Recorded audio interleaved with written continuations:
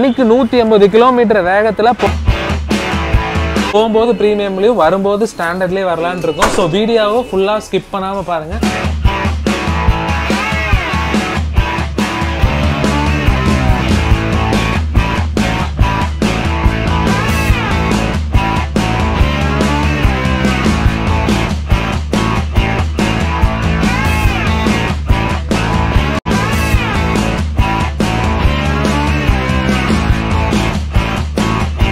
வணக்கம் மக்களே எல்லாம் எப்படி இருக்கீங்க? நல்லா இருக்கீங்களா? வெல்கம் பேக் டு புது vlogங்க.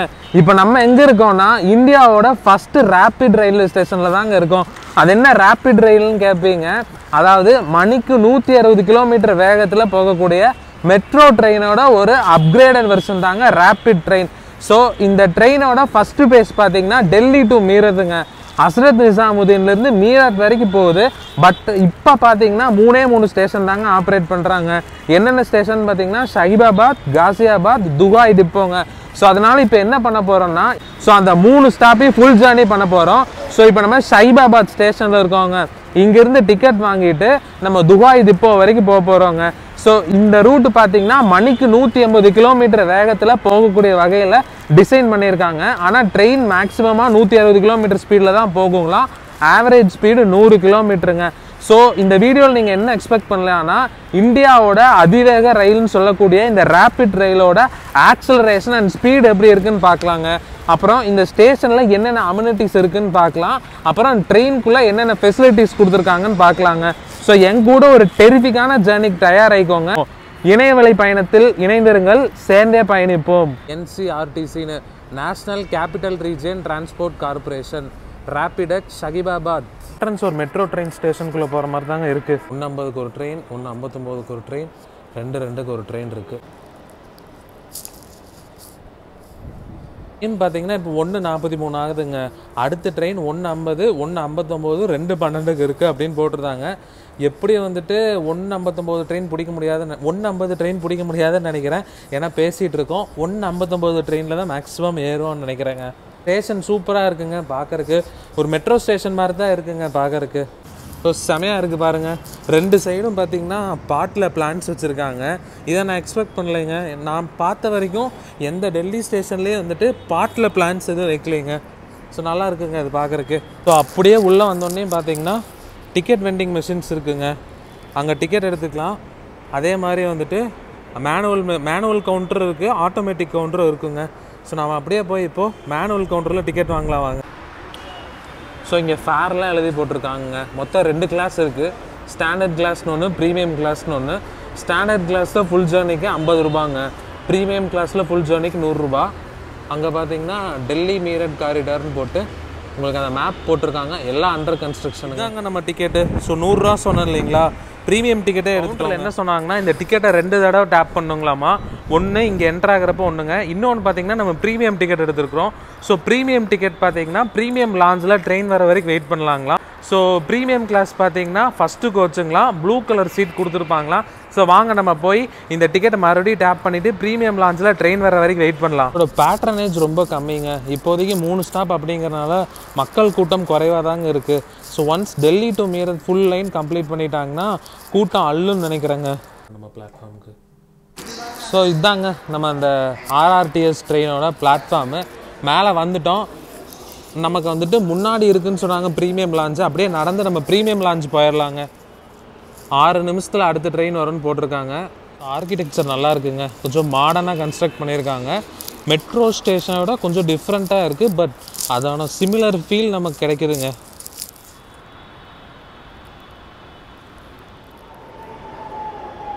ஸோ செமையாக இருக்குல்ல ட்ரெயினு சூப்பராக இருக்குங்க பார்க்குறக்கு பாருங்கள் கீழே என்சிஆர்டிசின்னு எழுதியிருக்காங்க.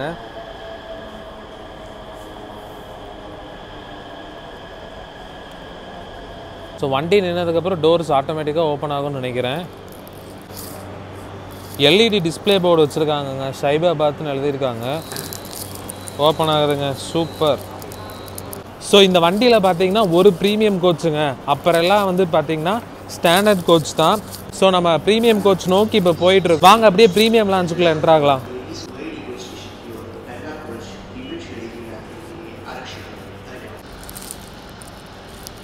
இதாங்க அந்த ப்ரீமியம் லாஞ்சு வர்றக்கு இடம் இருக்குது மேகசின்ஸ் வச்சுருக்காங்கங்க.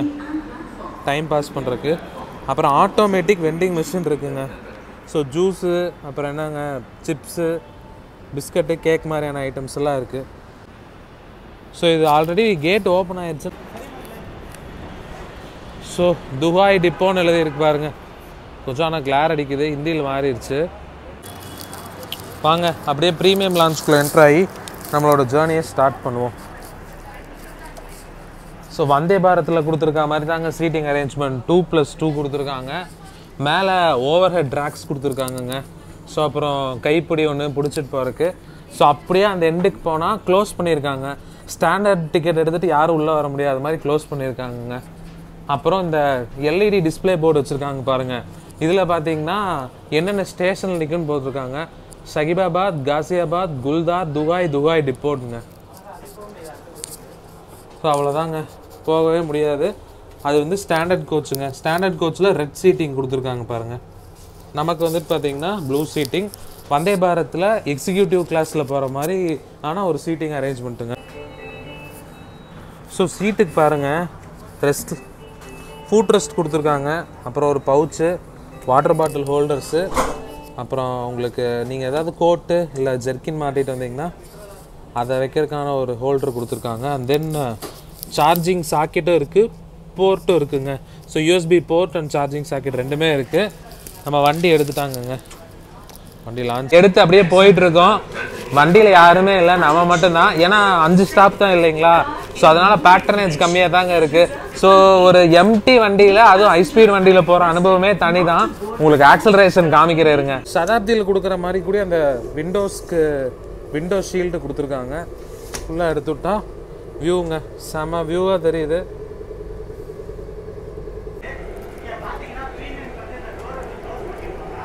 கான்ட்ராக்ட் தெரியுதுங்களா காசிபாபாத் ஜங்ஷனுக்கு மிக அருகில் இருக்கும். இந்த காசிபாபாத் ஜங்ஷன் எப்போ பார்த்துருப்பீங்கன்னா நியூ டெல்லியிலேருந்து காத்கோடுகம் போகிறப்போ இதுதாங்க ஃபஸ்ட்டு ஸ்டாப்பு நமக்கு. ஸோ அந்த வீடியோ பார்க்கலன்னா நான் மேலே கார்ட்ஸ்லேயும் கீழே டிஸ்கிரிப்ஷன்லேயும் தரேன். செக் பண்ணி பாருங்கள் ஆக்சலரேஷன் பாருங்கள் நூறில் போகுது. தொண்ணூத்தாறு தொண்ணூத்தெட்டு நூற்றி ரெண்டு தொண்ணூத்தொம்பது நூறு தொண்ணூத்தொம்பது தொண்ணூற்றேழு பாருங்கள் பேரலாக ஒரு குட்ஸ் ட்ரெயின் மூவ்மெண்ட் வேறு இருக்குது குட்ஸ் ட்ரெயின் போயிடுச்சுங்க.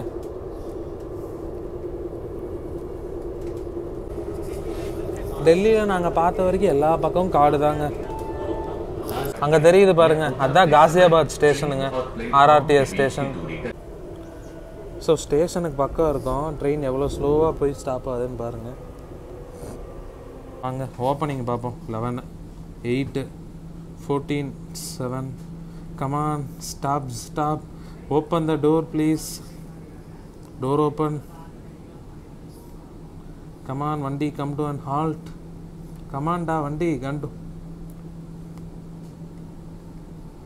அவ்வளோதாங்க zero doors open on yo sir doors gate open போகும்போது ப்ரீமியம்லேயும் வரும்போது ஸ்டாண்டர்ட்லேயே வரலான்னு இருக்கும். ஸோ வீடியோவை ஃபுல்லாக ஸ்கிப் பண்ணாமல் பாருங்கள் இப்போ வண்டி கிளம்பும் போது ஆக்சலரேஷன் பார்க்கலாம் வாங்க.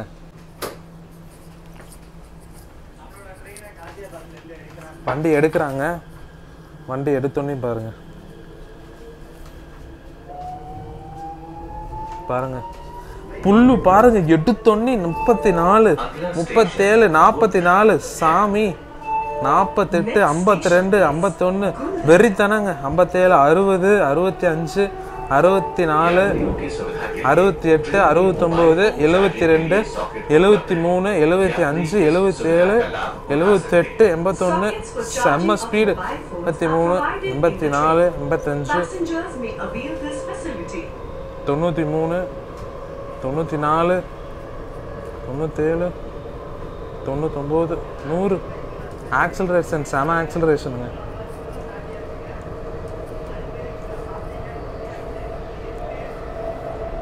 நூற்றி பன்னெண்டு. கமான் கமான் கமான் நூற்றி பதிமூணு. Come on come on touch touch touch touch touch ஒரு நூற்றி முப்பதாவது வா. Come on come on come on come on come on நூற்றி இருபத்தெட்டு. Come on one thirty one thirty எஸ்ஸுங்க நம்ம வந்து தமிழ்நாடு எக்ஸ்பிரஸ் ஸ்ட்ரீட்டை தாண்டிட்டோம். நூற்றி முப்பத்தி ரெண்டு நூற்றி முப்பத்தி நாலு. சாமி வேற லெவல்.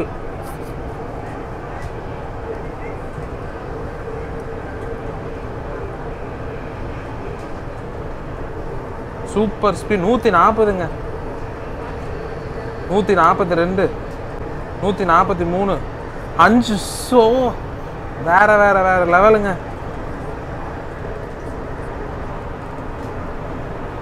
நூற்றி நாற்பத்தி எட்டு நூற்றி நாற்பத்தஞ்சுங்க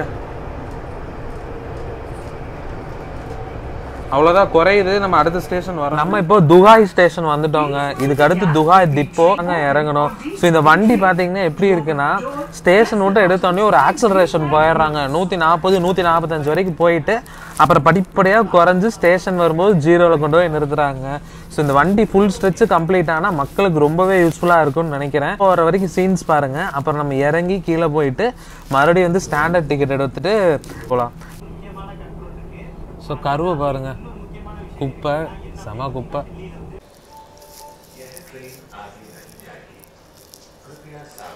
ரெண்டு அஞ்சுக்கு ஏறணுங்க. ரெண்டு இருபதுக்கு துபாய் இப்போ வந்துட்டோம். ஒரு பதினஞ்சு கிலோமீட்டர் தான்.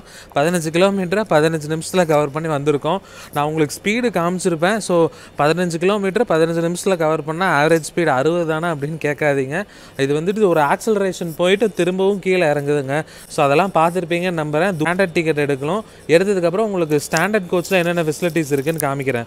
ஸோ வாங்க பார்க்கலாம். ஸ்பீட் ரயில் பார்த்தீங்கன்னா மொத்தம் மூணு ரூட் பிளான் பண்ணியிருக்காங்க டெல்லி மீரத் டெல்லி ஆழ்வார் டெல்லி பானிப்பட்டுங்க மீரட் போகிற ரூட்டில் தான் நம்ம இப்போ ட்ராவல் பண்ணியிருக்கோம். அதில் ஒரு அஞ்சு ஸ்டேஷன் மட்டும் இப்போ ஆப்ரேஷன்லாம் இருக்குங்க.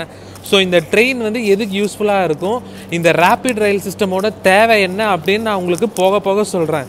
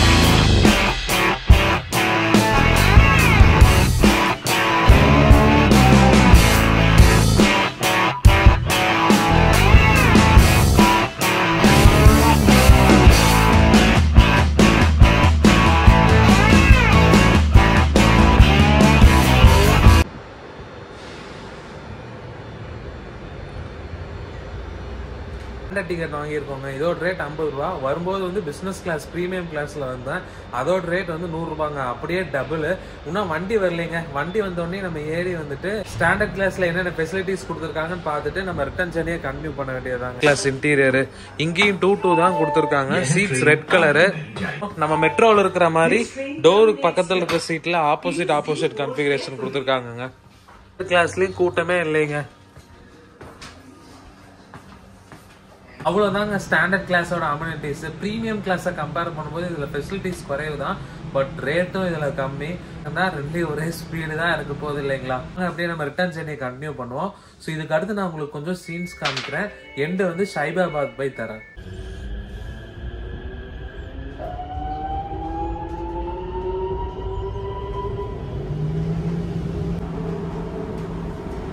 ஸோ प्लेटफॉर्म के बीच की दूरी का ध्यान रखें दरवाजा खोलने के लिए हरी बत्ती जलने पर बटन दबाएं Duhai, doors will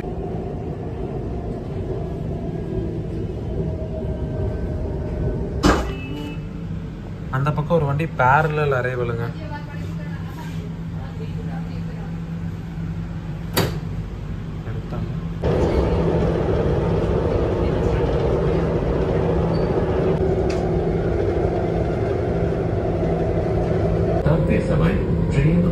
प्लेटफॉर्म के बीच की दूरी का ध्यान रखें दरवाजा खोलने के लिए Ghaziabad.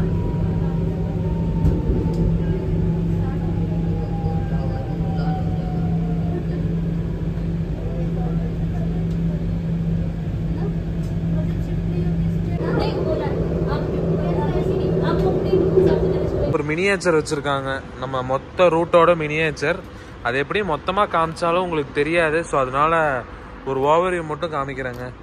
மூணு லைன் ப்ரப்போஸ் பண்ணாங்க. அதில் ஒரு லைன் தாங்க இந்த லைன் ஏன் மற்ற ரெண்டு லைனை விட இதை ஃபஸ்ட்டு வந்து போடுறாங்க அப்படின்னு பார்த்தீங்கன்னா டெல்லி டு மீரட் ஹைவேல தான் எக்கச்சக்கமான கார்ஸ் போயிட்டு வருதுங்க. ஸோ அந்த கார்ஸை குறைக்கணும் அப்படிங்கிறக்காக தான் ஃபஸ்ட்டு வந்து இந்த லைன் போட்டுட்டு இருக்காங்க. ஸோ இதுக்கப்புறம் பார்த்தீங்கன்னா டெல்லி பேனிவர் டெல்லி ஆழ்வார் இது ரெண்டுமே கம்ப்ளீட் பண்ணுவாங்கங்க. இந்த லைன் பார்த்தீங்கன்னா டெல்லியிலேருந்து மீரட் வரைக்கும் போகுது அப்படின்னு ஸ்டார்டிங் பாயிண்ட் வந்து நிசாமுதீனுங்க. நிசாமுதீன் டு மீரத் வந்து டோட்டல் டிஸ்டன்ஸ் ஒரு எண்பதுலேருந்து எண்பத்தஞ்சு கிலோமீட்டர் வருங்க. மூணு மணி நேரம் ஆகுதுங்களாம் இந்த நெட்வொர்க் வந்து ஃபுல்லாக கம்ப்ளீட் ஆச்சுன்னா நாற்பத்தஞ்சு நிமிஷத்தில் வந்துட்டு போயிட்டு வந்துடுவாங்களாமா ஸோ இது பார்த்தீங்கன்னா ரோடில் நிறையா கார்ஸ் போகுது. அந்த கார்ஸை குறைச்சா டெல்லி பொல்யூஷன் குறையும். டெல்லியோட ஏர் குவாலிட்டி அதிகமாகும்னு போட்ட பிளான் தாங்க இது. ஸோ இந்த லைன் ஃபுல்லாக ஆப்ரேட் ஆச்சுன்னா நிறைய பேர் யூஸ் பண்ணுவாங்கன்னு நினைக்கிறேன். ஸோ தட்ஸ் இட்டுங்க வீடியோவோட எண்டுக்கு வந்துட்டோம். அப்படின்னா குட்டி கதை சொல்ல வேண்டிய நேரம் வந்துருச்சுங்க. எப்பவுமே நம்ம சேனலில் நான் ஜென் ஸ்டோரி சொல்லுவேன். இந்த தடவை ஓஷோவோட ஒரு ஸ்டோரி சொல்கிறேங்க ஒருத்தன் இருக்கான். அவனுக்கு பார்த்தீங்கன்னா எப்பவுமே ரொம்ப ஸ்ட்ரெஸ்ஸாக இருக்குது. எதை பார்த்தாலும் கேள்வி கேட்டுட்டே இருக்கான் ரெஸ்ட்லெஸ்ஸாக இருக்காங்க. அவன் ஒரு சைக்காட்ரிஸ்ட்ட போகிறான் அந்த சைக்காட்ரிஸ்ட் வந்துட்டு நீங்கள் ஒரு பிரேக் எடுத்துகிட்டு ஏதாவது ஒரு மலைக்கு போயிட்டு வாங்க ஹில்ஸ் போயிட்டு வாங்க. இவனும் ஒரு பிரேக் எடுத்து ஹில் ஸ்டேஷன் போகிறான் அடுத்த நாள் வந்துட்டு ஹில் ஸ்டேஷன்லேருந்து இவன் சைக்காட்ரிஸ்ட்டுக்கு ஒரு எஸ்எம்எஸ் அனுப்புகிறான் என்னன்னு பார்த்தீங்கன்னா நான் இன்னைக்கு ரொம்ப பீஸ்ஃபுல்லாக இருக்கேன். அது ஏன் அப்படின்னு கேள்வி கேட்டிருக்கான்.